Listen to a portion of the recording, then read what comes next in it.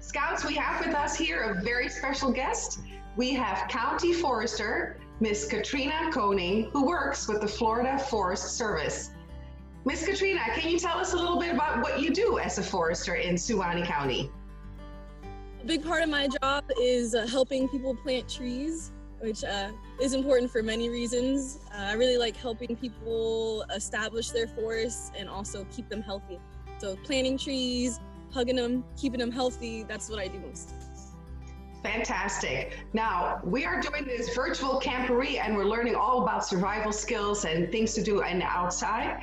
Can you give us a little mm-hmm. bit about what scouts can do to help with their families to be more sustainable? Well, I definitely know that you guys advocate the pack in, pack out, which that's definitely, uh, if everyone could do that, that would be amazing. So I applaud you guys for that initiative. Definitely another thing that's very easy to incorporate is recycling, but also upcycling. So you don't always have to throw something away. You can transform it into something else that you can use. So reducing, reusing, recycling, but upcycling is kind of my favorite because you can get very creative with it, especially a family project. You can really yeah, think outside of the box and have a really cool thing that you guys make together. Great. Now, I know that our scouts love to be out in the wilderness. What could they do to help nature? Could they do that something in their backyards, make butterfly gardens? What suggestions do you have for our scouts? If we're trying to to better the environment and help nature and do that in our own backyards, there are a million ways to do it.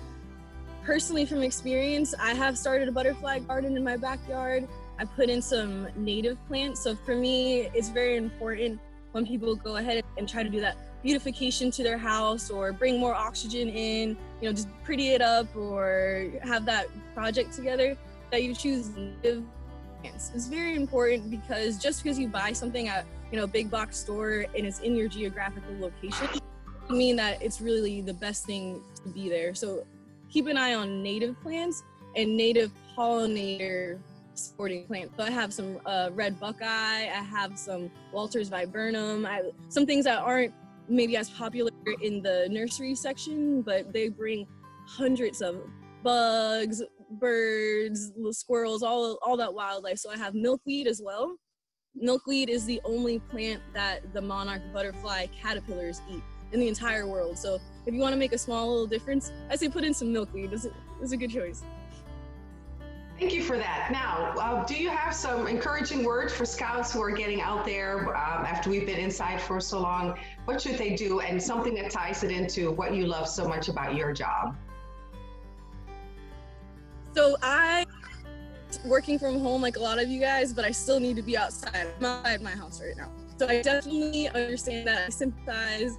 What I have been doing with my friends. We actually did take a small camping trip, a few of us, these past couple days, and we started taking pictures of the different plants and animals that we found. And there's a, a couple different apps. I'm not sure which one we were using, but there's an app that it identifies what you've seen and then it logs it. And so my one friend, he's from Miami, he showed me all the things he had seen. There's just the different plant communities down there. There's different animals and wildlife down there. And so I started doing that up here. And now it's something that we kind of do as a group of, you know, 20 something year olds. We're like, oh, I just found a, a mud dauber wasp. Like, oh, I just found this kind of flower. So I think it's really cool. I'm not sure if other people would, you know, be nerd out like I have on it, but to identify the plants and start to recognize them, you start to see them more, and then you can see how those ecosystems build upon each other. So I think it's a, that's a really cool thing, just understanding the little tiny little Lego parts of the community, and then you can start to see how they all build upon each other. I can try to get that app to you guys. That would be fantastic because right now we're combining being out in the world and, and technology, as you know. Well, that's it. Thank you so much. Thank you for it. And uh, Scouts, as we do, leave no trace. Thank you for our forester and uh, Scout on. Scout on.